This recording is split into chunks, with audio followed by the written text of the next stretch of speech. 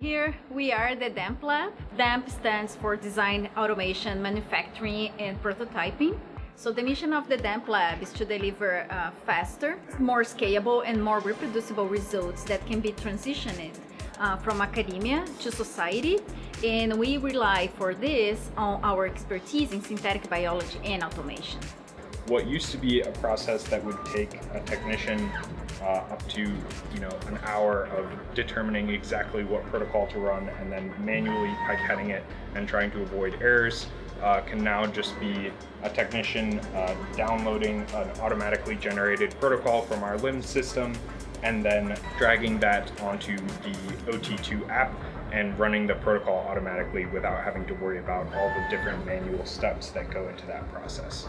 I've already done, I don't know how many hundred mini preps in my life. I don't want to do another 3,000 mini preps in my life. So it's nice to like see this glimmer of hope that like all these things that we're doing manually day to day uh, can eventually be like automated, not just for like big labs at large companies, but even for like more day-to-day -day biologists. Our life is so much easier now because the OT2 is really good not only for the automation of synthetic biology, not only because it's uh, providing to us an environment where we can actually increase the throughput in our laboratory. It's improving the way that we train new students as well. Uh, it's so much easier to uh, write protocols for the OT2. Everybody likes to work with the OT2.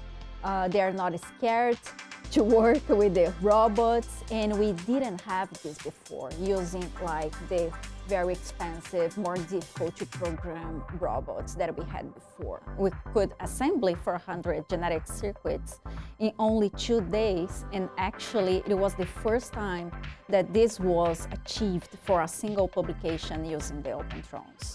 Other things I really like about the OT2 would be uh, hardware reliability and accuracy. So like for example, for this project, assembling a whole bunch of circuits, we were struggling to figure out like, okay, how many hours is this gonna take by hand? We just got this OT2, maybe we'll just try it out on the OT2 and see if it works. And like just setting it up and putting things into place and running it, like everything immediately ran the first time with no issues with like calibration or like software hiccups. So that was really cool to see something that works out of the box